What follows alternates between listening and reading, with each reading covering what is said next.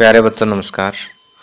आज के इस वीडियो लेक्चर में हम नौवीं कक्षा के गणित की प्रश्नावली छः दशमलव दो के प्रश्नों को हल करने के लिए आवश्यक कुछ एक बेसिक कंसेप्ट और छः दशमलव दो प्रश्नावली से पहले दिए गए उदाहरणों को समझेंगे। तो सबसे पहले आइए समझते हैं कि त्रियक रेखा क्या होती है, जिसको इंग्लिश में ट्रांसवर्सल बोलते हैं, कि त्रियक रेखा क्या होती है? इसके लिए मैं एक चित्र बना लेता हूँ। कि जैसे ये हमारे पास, मान लीजिए, दो रेखाएँ हैं, जिन्हें मैं रेखा एम और एन का नाम दे देता हूँ। तो देखिए, एक ऐसी रेखा, एक ऐसी रेखा जो दो या दो से अधिक रेखाओं को अलग अलग बिंदुओं पर प्रतिच्छेद करती है। एक बार फिर से, कि एक ऐसी रेखा जो दो या दो से अधिक भी हो सकती है यहाँ पर, दो से अधिक रेखाओं को अलग अलग बिंदुओं पर प्रतिच्छेद करे, ऐसी रेखा त्रियक रेखा कहलाती है। तो यहाँ पर ये जो रेखा एल है, ये त्रियक रेखा है। यहाँ पर ये दो रेखाएँ हैं, मैंने दो से अधिक क्यों कहा? एक रेखा और भी ड्रा कर सकता हूँ यहाँ पर मैं। तो इस तरह से आप समझ गए होंगे कि त्रियक रेखा ट्रांसवर्सल क्या होता है। यदि हम इस चित्र को ध्यान से देखें तो यहाँ पर देखिए, हमें आठ कोण नज़र आएँगे। कोण नंबर एक, दो, तीन, चार। इसी तरह से नीचे पाँच, छ, सात और कोण नंबर आठ। तो यहाँ पर हमारे पास आठ कोण हैं। इनमें से देखिए कि कोण एक, दो, सात और आठ, ये बाहर की तरफ़ है।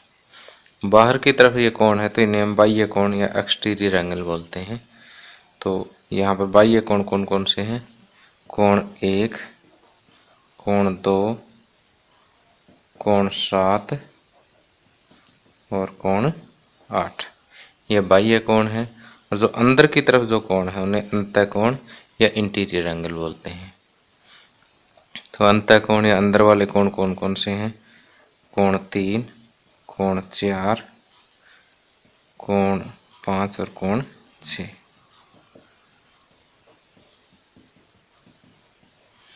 तो ये तो बिल्कुल इसके नाम से स्पष्ट है कि जो बाहर की तरफ़ आगे वो बाह्य कोण है और अंदर की तरफ़ जो आगे वो अंत कोण है। तो इस चित्र में चार बाह्य कोण हैं और चार अंत कोण हैं। अब देखो, यहाँ पर जब एक त्रियक रेखा दो रेखाओं को प्रतिच्छेद करती है तो कुछ एक कोणों के युगम बनते हैं। युगम का मतलब जोड़ा होता है। पेयर। तो देखिए कौन कौन से पेयर कौन कौन से युगम बनते हैं कि जैसे यहाँ पर कोण एक और कोण पाँच। ये संगत कोण है? संगत, या संगत कोण जिसको इंग्लिश में कोरस्पॉन्डिंग एंगल बोलते हैं? तो जैसे कोण एक का संगत कोण पाँच है। तो कोण एक और कोण पाँच हो गए? इसी तरह से कोण दो का संगत छ कोण दो और कोण छ कोण तीन का संगत कोण सात है।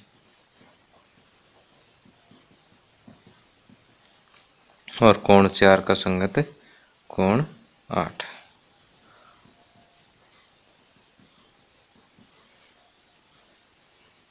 तो संगत कोणों के तो बिल्कुल आसानी आसान सी निशानी होती है कि जैसे ये एक जैसी दो स्थिति है इस चित्र में। तो जो पोजीशन कोण एक के ऊपर में, ऊपर वाले जगह पर हो, ऐसी ही स्थिति। किसकी है? पाँच की है तो एक और पाँच संगत कोण है? इसी तरह से दो और छः तीन और सात, चार और आठ, ये संगत कोणों के युगम अब देखिए, और कौन युगम कौन कौन से हैं? एक है एकांतर अंत कोण एकांतर अंत कोण में क्या होता है कि जैसे एक युगम पहचानना तो बिल्कुल आसान है। कि जैसे इस तरह से एक जेड टाइप की आकृति बनेगी। क्या बनेगा? जैसे इंग्लिश में हम जेड लिखते हैं, इस जेड टाइप में आकृति बनती है। तो यहाँ पर इस जेड में जो एंगल बनेगा, जैसे चार और छ तो ये एक अंतर अंत कोण है। कोण चार और कोण छ देखिए, एकांतर अंत है, यानी अंदर की तरफ़ हो और एकांतर हो अल्टरनेट हो। तो एक जेड तो ऐसा बन गया, दूसरा जेड जो है उल्टा बनेगा ऐसे। चाहे जेड सीधा बने, चाहे उल्टा बने।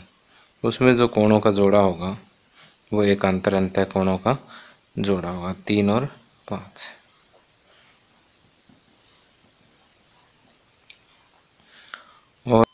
अब एकांतर बाह्य कोणों को समझने के लिए एक बार फिर से एकांतर अंत कोणों पर ध्यान देते हैं कि एकांतर अंत कोणों में देखिए ये त्रियक रेखा थी। त्रियक रेखा के अपोजिट थे ये एंगल और अंदर की तरफ़ थे। इस तरह से पोजीशन देखिए आप। तो एकांतर बाह्य में, इसी त्रियक रेखा में बाहर की तरफ़ अपोजिट, यानी जैसे कोण एक और कोण? सात। ठीक उसी तरह से इस त्रियक रेखा के बाहर की तरफ़ और अपोजिट। कोण दो और कोण आठ। तो जो आपने जेड बनाया है, इसी के इर्द गिर्द आपको अंत कोण मिलेंगे और इसी के बाहर की तरफ़ जो है एक अंतर बाह्य कोण मिलेंगे। जेड से अगर आपको पहचानना हो तो जैसे सीधा जेड बनाइए। बाहर की तरफ़, एक और सात उल्टा जेड बनाइए, बाहर की तरफ़ दो और आठ। तो इस तरह से हम एकांतर अंत कोण और एकांतर बाह्य कोणों की पहचान आसानी से कर सकते हैं। उसके बाद आता है कि त्रियक रेखा के एक ही ओर बने अंत कोण त्रियक रेखा के एक ही ओर, यानी एक ही ओर तो चार और पाँच हो गया, दूसरा पेड़ तीन और छः हो गया। तो त्रियक रेखा के एक ही ओर बने अंत कोण। कोण चार और कोण पाँच। दूसरी तरफ़ अंत कोण, त्रियक रेखा की ओर कोण तीन और कोण सात हो गए तो इस तरह से जब एक त्रियक रेखा दो रेखाओं को अलग अलग बिंदुओं पर प्रतिच्छेद करती है। तो हमें संगत कोणों के चार युगम मिलते हैं। एकांतर अंत कोणों के दो युगम एकांतर बाह्य कोणों के भी दो युगम और त्रियक रेखा के एक ही और बने अंत कोणों के दो युगम हमें प्राप्त होते हैं।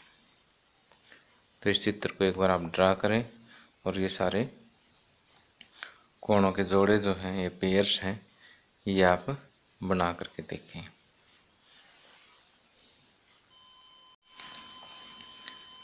अब यहाँ एक बात और बताना चाहता हूँ कि त्रियक रेखा के एक ही ओर बने जो कोण हैं, उन कोणों को हम कुछ और नाम भी देते हैं, जो है कर्मागत अंत कोण कर्मागत अंत कोण जिसको इंग्लिश में बोलते हैं कंजिक्यूटिव इंटीरियर एंगल्स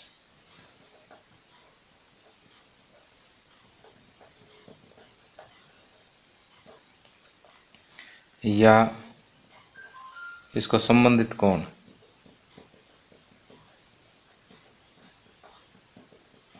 या अलाइड एंगल्स भी बोलते हैं।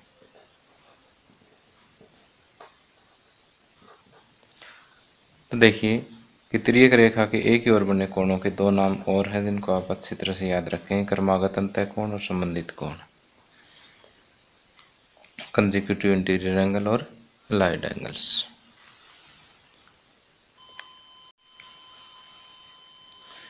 अब आगे है समांतर रेखाएँ और त्रियक रेखाएँ। करने का अर्थ ये है कि जब एक त्रियक रेखा दो समांतर रेखाओं को अलग अलग बिंदुओं पर प्रतिच्छेद करती है, उस चीज़ का हमें अध्ययन करना भी। और इस चैप्टर में आगे जितने भी क्वेश्चंस हैं, लगभग छः दशमलव दो प्रश्नावली में, वो इसी कंसेप्ट पर बेस्ड है, इसलिए इसको ध्यान से समझें कि यदि एक त्रियक रेखा दो समांतर रेखाओं को प्रतिच्छेद करती है तो क्या होगा?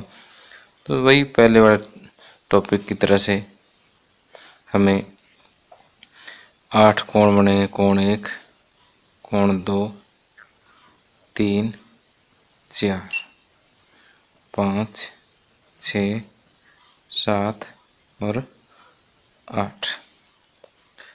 अब देखिए, अगर हम समांतर रेखाओं के केस में अगर संगत कोणों को माप के देखें तो क्या होगा? देखिए, यहाँ पर संगत कोण कौन कौन से हैं? संगत कोण युगम, कोण एक और कोण पाँच। ये दोनों संगत कोण हैं। तो देखिए, इसको माप के देखते हैं कि कोण पाँच को अगर आप माप के देखें तो ये आपको यहाँ से साफ़ नज़र आ रहा है कितने डिग्री का है, साठ डिग्री का कोण है। इसी तरह से ये साठ का निशानी है। और यहाँ से अगर कोण एक भी हम माप के देखें तो ये भी साठ डिग्री है। तो यहाँ से हम माप के वेरीफाई कर सकते हैं कि कोण एक और कोण पाँच आपस में बराबर हैं। इसी तरह से कोण दो और कोण छ। कोण दो जो है वो यहाँ से देखिए 120 डिग्री का है और कोण छः भी 120 डिग्री का है। तो जब भी एक त्रियक रेखा दो समांतर रेखाओं को प्रतिच्छेद करती है तो उस केस में संगत कोणों के युग्म हमेशा ही बराबर होते हैं, कि संगत कोण हमेशा ही आपस में बराबर होते हैं। एक पाँच के बराबर मिलेगा, दो छः के बराबर मिलेगा। इसी तरह से आप चंदे या डी की हेल्प से माप करके देख सकते हैं कोण तीन जो है वो, कोण सात के बराबर मिलेगा, कोण चार जो है वो, कोण आठ के बराबर मिलेगा। तो अब ये यूनिवर्सल ट्रूथ है।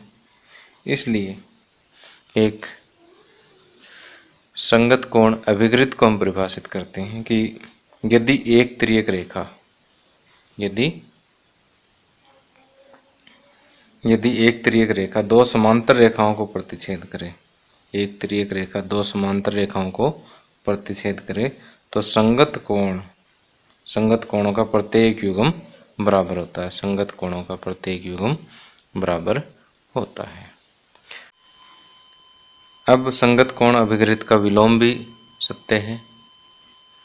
विलोम का मतलब इस बात का उल्टा, कि यदि संगत कोण बराबर है, पहले हमने क्या कहा था, कि यदि ये दो रेखाएँ समांतर है और त्रिक रेखा इसको कट करती है तो यदि ये रेखाएँ समांतर है तो संगत कोण बराबर होंगे। अब हम विलोम में इसको उल्टा कहेंगे कि यदि संगत कोण बराबर है तो रेखाएँ क्या होंगी? समांतर होगी।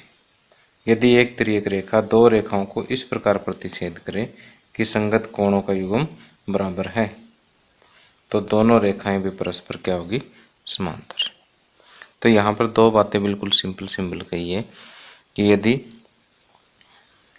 एक त्रियक रेखा दो समांतर रेखाओं को प्रतिच्छेद करती है तो संगत कोण बराबर होंगे।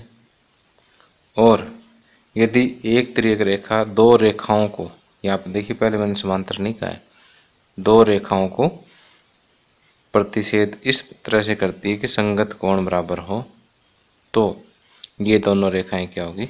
समांतर होगी तो ये है संगत कोण अभिगृत और इसका विलोम। इससे आगे हम देखेंगे कि जो एकांतर अंत कोण और एकांतर बाह्य कोणों के युगम भी इस केस में जब एक त्रियक रेखा दो समांतर रेखाओं को प्रतिच्छेद करती है, उस केस में एकांतर अंत कोणों का युगम भी आपस में बराबर होगा, जिसे हम सिद्ध भी करेंगे। एकांतर अंत कोण एकांतर अंत कोणों का प्रत्येक युगम बराबर होगा, कि यहाँ चार छः के बराबर होगा। आप माप करके भी वेरीफाई कर सकते हैं, हम इसे आगे प्रूव भी करेंगे। कोण तीन कोण पाँच के बराबर होगा। एकांतर बाह्य कोणों का भी प्रत्येक युगम बराबर होगा। कोण एक, कोण सात के बराबर होगा। कोण दो, कोण आठ के बराबर होगा। इसके अलावा त्रियक रेखा के एक ही ओर बने कोणों का योग हमेशा ही 180 डिग्री होगा। त्रियक रेखा के एक ही ओर बने कोणों का योग, जैसे कोण चार प्लस कोण पाँच। यही है त्रियक रेखा के एक ही ओर बने अंत कोण त्रियक रेखा के एक ही ओर बने अंत कोणों का योग हमेशा कितना होगा? 180 डिग्री होगा। कोण तीन प्लस कोण छ ये भी कितना होगा? 180 डिग्री होगा। तो देखिए, जैसे मैंने अभी भी आपको बताया है कि ये चीज़ संगत कोण वाले तो ये एक अभिगृत के रूप में यूज़ करेंगे, इसके प्रूफ की आवश्यकता नहीं है। कि जब रेखाएँ समांतर है तो संगत कोण बराबर होंगे यदि संगत कोण बराबर है तो रेखाएँ समांतर होगी। इसके अलावा, जब एक त्रियक रेखा, दो समांतर रेखाओं का प्रतिच्छेद करती है तो एकांतर अंत कोणों का प्रत्येक युगम बराबर होता है। एकांतर बाह्य कोणों का प्रत्येक युगम बराबर होता है और त्रियक रेखा के एक ही ओर बने कोणों का योग 180 डिग्री होता है। ये बात आप अच्छी तरह से याद रखेंगे क्योंकि प्रश्नावली छः दशमलव दो के उदाहरण और प्रश्नों को हल करते टाइम हम इन चीज़ों का बड़ा फ्रिक्वेंटली यूज़ करेंगे जल्दी जल्दी यूज़ करेंगे। इसलिए आपको ये चीज़ें याद रखनी है।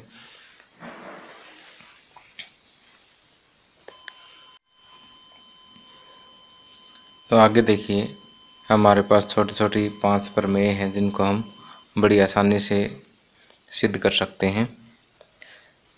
प्रमेय छः दशमलव दो है, यदि एक त्रियक रेखा दो समांतर रेखाओं को प्रतिच्छेद करे तो एकांतर अंत कोणों का प्रत्येक युगम बराबर होता है। तो यहाँ पर देखिए कि ये दो समांतर रेखाएँ हमने ड्रा कर दी हैं और ये एक त्रियक रेखा ड्रा कर दी है। तो क्वेश्चन में दिया हुआ है कि यदि एक त्रियक रेखा दो समांतर रेखाओं को प्रतिच्छेद करे तो अंत कोणों का प्रत्येक युगम बराबर होता है। यानी ये कोण इस कोण के बराबर सिद्ध करना है और ये बड़ा कोण इस कोण के बराबर सिद्ध करना है। तो अब देखिए, एक कोण हम यहाँ पर ड्रा कर लेते हैं।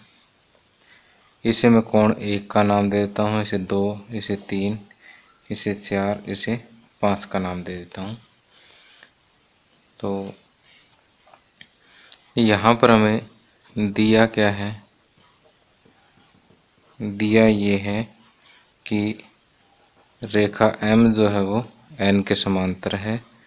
एल एक त्रियक रेखा है। और सिद्ध क्या करना है?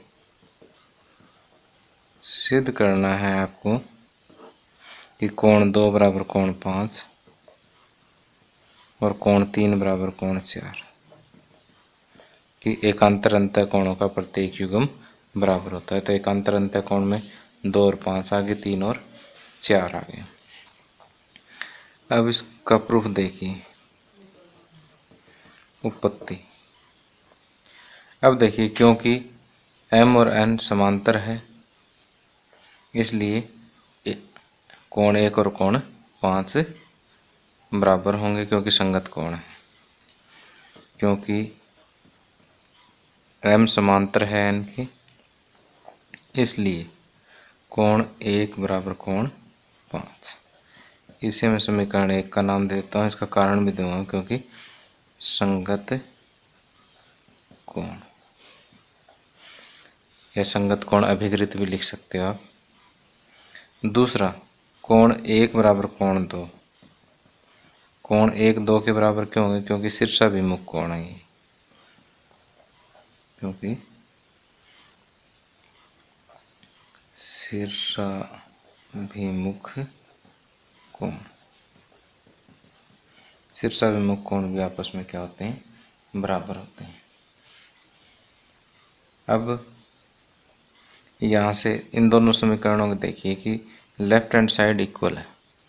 जब भी किन्हीं भी दो समीकरणों की लेफ़्ट हैंड साइड इक्वल हो तो राइट हैंड साइड हम इक्वल रख सकते हैं। या फिर इसमें अगर हम ज्योमेट्री की बात करें तो जब दो अलग अलग चीज़ें एक ही वस्तु के बराबर हो तो वो चीज़ें आपस में भी क्या होती हैं? बराबर होती हैं। तो यहाँ से हम कह सकते हैं, एक व दो से कोण दो बराबर कोण पाँच। और इसी तरह कोण तीन और कोण तीन बराबर कोण चार। तो प्रूट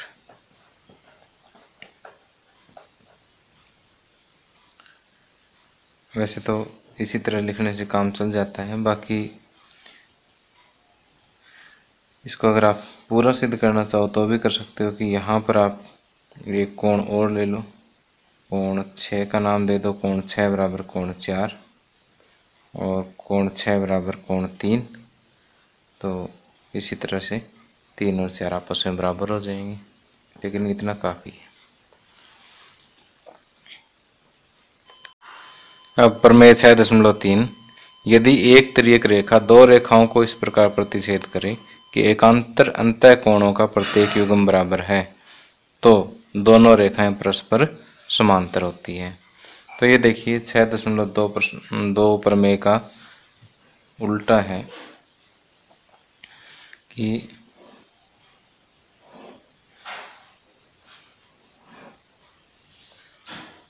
पिछली प्रमेय में हमें क्या दिया हुआ था कि ये दोनों रेखाएँ समांतर दी हुई थी और एकांतर अंत कोण बराबर सिद्ध करने थे। इस बार इसने कह दिया कि एकांतर अंत कोण तो बराबर है। अब ये सिद्ध कीजिए कि ये रेखाएँ क्या होगी? समांतर होगी।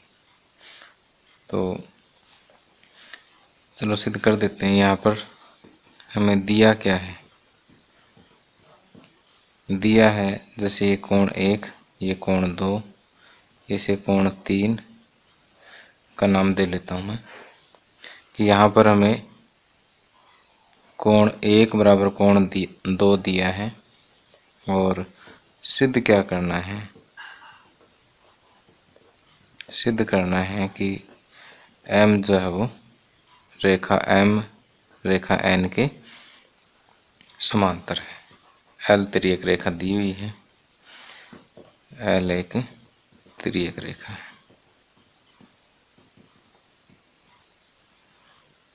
अब देखिए, इसकी उत्पत्ति। बिल्कुल दो लाइनों में आसान सी है कि कोण एक बराबर कोण दो।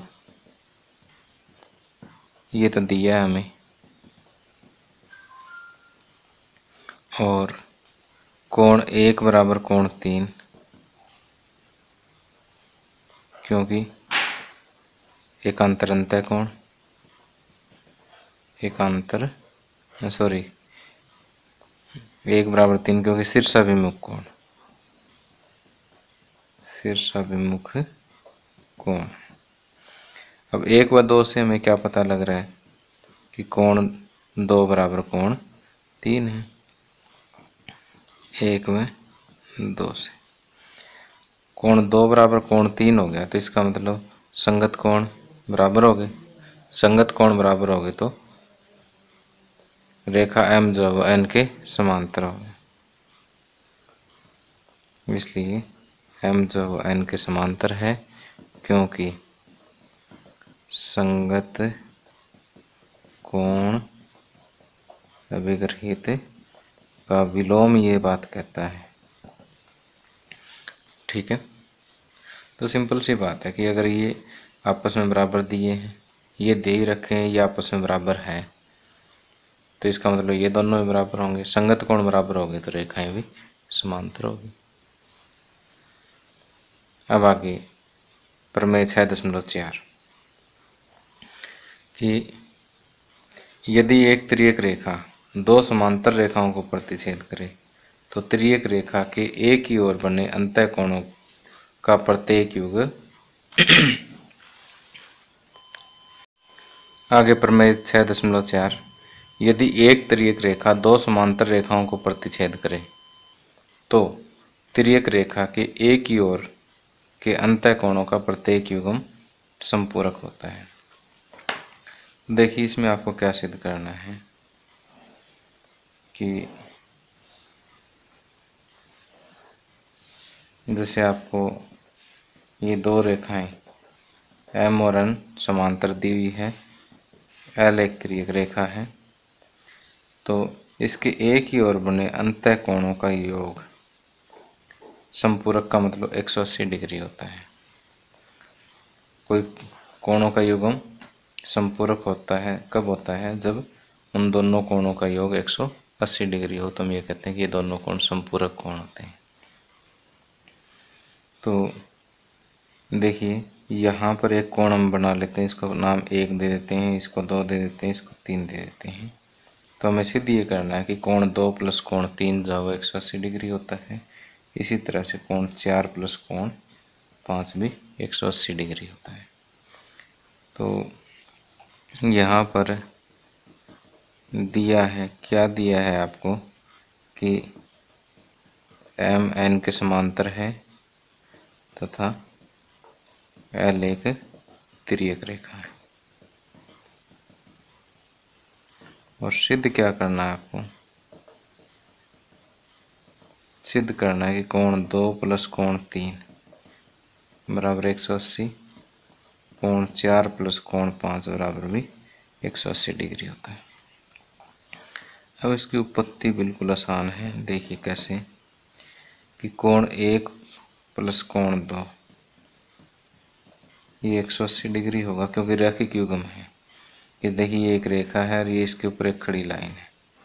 एक रेखा और इसके ऊपर एक ही खड़ी लाइन। पिछले एक्सरसाइज में देखा कि यह क्या था? रैखिक युगम और रैखिक युगम का टोटल हमेशा ही क्या होता है? 180 डिग्री होता है। और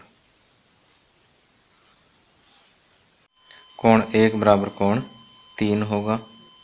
क्यों? क्योंकि संगत कोण है। कारण देना ज़रूरी होता है इनका। और ये इसका कारण भी तो क्योंकि रैखिक युगम है। ओके? अब इसे समीकरण एक का नाम दे देता हूँ और इसे समीकरण दो का नाम दे देता हूँ। तो एक प्लस दो बराबर एक सौ अस्सी डिग्री है, एक तीन के बराबर है तो एक की जगह तीन रख सकते हैं, एक व दो से। कोण तीन प्लस कोण दो बराबर एक सौ अस्सी डिग्री। ये तो सिद्ध करना था कि कोण दो प्लस कोण तीन बराबर एक सौ अस्सी डिग्री। इसलिए कोण दो व कोण तीन संपूरक कोण?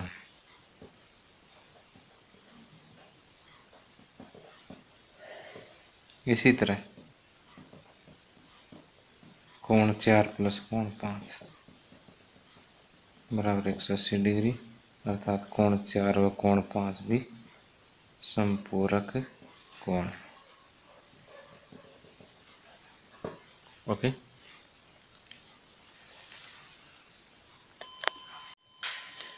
प्रमेय छः दशमलव पाँच। यदि एक त्रियक रेखा दो रेखाओं को इस प्रकार प्रतिच्छेद करे कि त्रियक रेखा के एक ही ओर के अंत कोणों का एक युगम संपूरक है तो दोनों रेखाएँ परस्पर समांतर होती हैं। तो यहाँ पर देखिए कि ये कोई भी दो रेखाएँ दे रखी है, जिन्हें हम एम और एन का नाम दे देते हैं। ये एक त्रियक रेखा है। जिसे मैं एल का नाम दे देता हूँ। अब हमें ये दिया है कि त्रियक रेखा के एक ही ओर के अंत कोण कोणों का एक युगम संपूरक है। तो मान लेते हैं कि इन दोनों का टोटल जो है वो कितना है? 180 डिग्री है। देखिए, कोण एक, दो, तीन। ये नाम दे देता हूँ। अपनी मर्ज़ी से कोई नाम दे सकते हो। आप एक, दो, तीन ऐसे नाम दे दो। तो यहाँ पर देखिए कि हमें दिया क्या है कि कोण दो प्लस कोण तीन बराबर एक सौ अस्सी डिग्री है। और हमें सिद्ध ये करना है कि कोण एम जो सॉरी एम और एन जो है वो समांतर रेखाएँ हैं। तो कोण दो प्लस कोण तीन एक सौ अस्सी डिग्री है। ये तो क्या है, आपको दिया है। और कोण एक प्लस कोण दो या कोण दो प्लस कोण एक, ये भी कितना आता है? 180 डिग्री। क्यों? क्योंकि ये रैखिक युग्म है।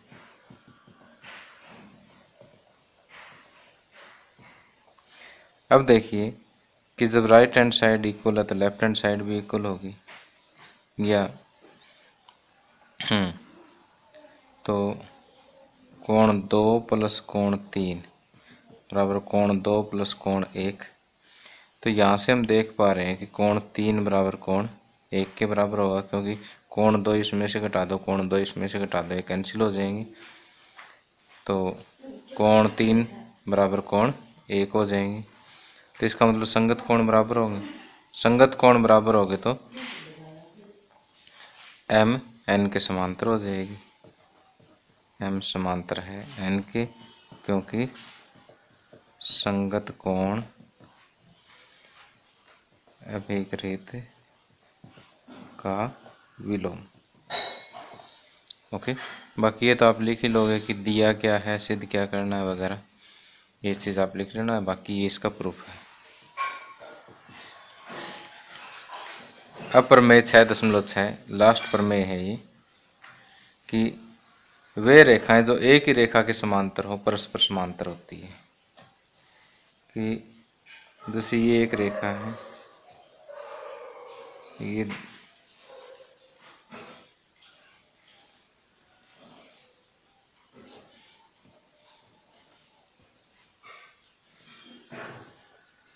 अब जैसे एक रेखा ये है एम एन इसको नाम पी दे देता हूँ। तो यहाँ पर एम समांतर है एन के और एम समांतर है पी के। ये चीज़ दिया है। और सिद्ध आपने क्या करना है?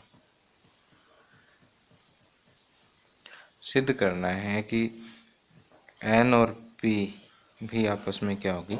समांतर होगी। ये दो रेखाएँ एक ही रेखा के समांतर है तो ये आपस में भी समांतर होगी। ये चीज़ आपने सिद्ध करनी है। तो ये सिद्ध करने के लिए हम क्या करेंगे? एक त्रियक रेखा एल ड्रा कर देंगे। एल ड्रा करने के बाद मैं यहाँ पर कोण एक, कोण दो और कोण तीन बनाऊँगा। तो मैं यहाँ पर कहूँगा कि कोण क्योंकि एम समांतर है एन के। एम समांतर है एन के, इसलिए कोण एक बराबर कोण दो होगा, क्योंकि संगत कोण है।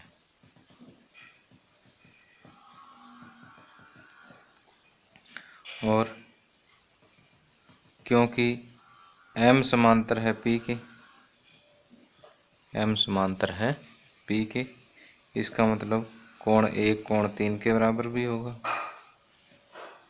कारण सेम रहेगा संगत कोण अब इसे समीकरण एक का नाम दे दें, इसे दो का नाम दे दें, कि जब लेफ़्ट हैंड साइड इक्वल है तो राइट हैंड साइड इक्वल रख सकते हैं तो इसका मतलब कोण दो बराबर कोण तीन हो गया।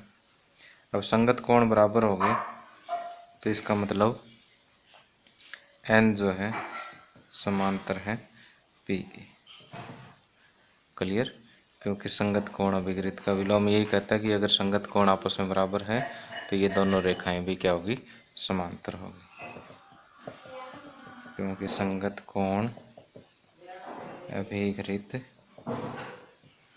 का विलोम।